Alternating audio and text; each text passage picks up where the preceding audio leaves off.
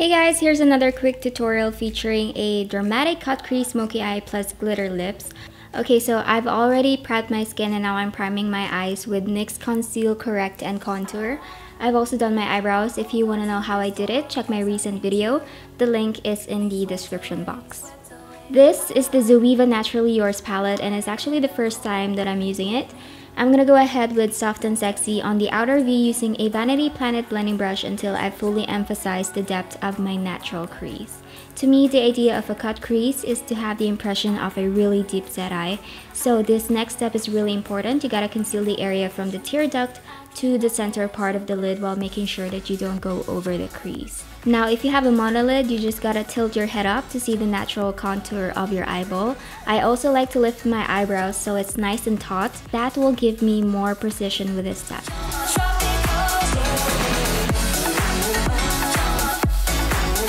I applied Casual Elegance on the inner corners, then on the middle, Smooth Harmony. But then I realized this is not the color that I'm going for as it's too subtle. However, I think these pigmented colors would be great for everyday. I'm going for champagne with a hint of rose. This is by The Balm Cosmetics and it's a long wearing eyeshadow stick. I'm applying this on top of Smooth Harmony and then blending it ASAP because this sets easily. My camera automatically stopped recording in the middle of my eyeliner application but basically I made a wing liner using my favorite liner as of the moment and then just smoking it out with Timeless Chic from the same palette.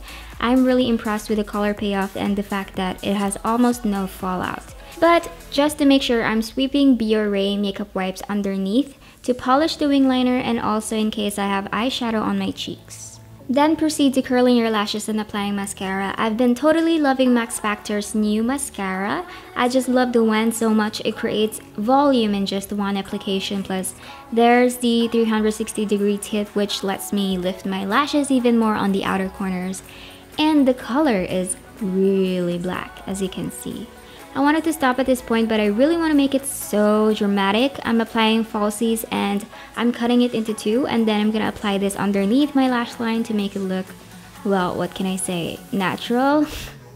Cutting it into two allows you to apply it easily rather than the full lash band. And then I also like to pull out the center part while the glue is drying to fit the curves of my eyes.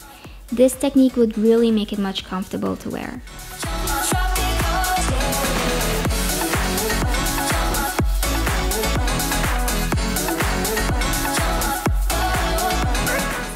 Next, I'm applying my base and all that jazz, so let's speed things up and move on to contour. I'm using Becca X Chrissy Teigen palette and I'm using the shade Malibu Soleil on my cheeks and temples. I'm also contouring my nose to make it look even smaller.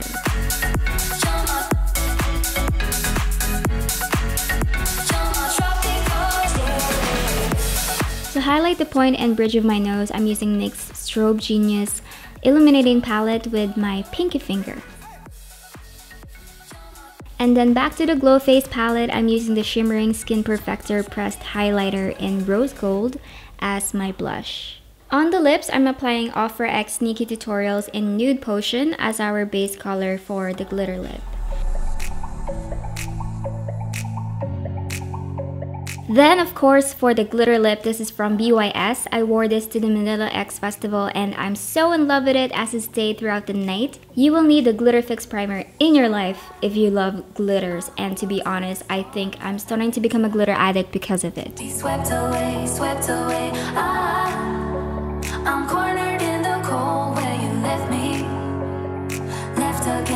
I added mascara on the bottom lashes to finish the look and we're done. This is such a fun makeup look and I hope you try it out for yourselves at home. And if you did, don't forget to let me know by tagging me in the pictures.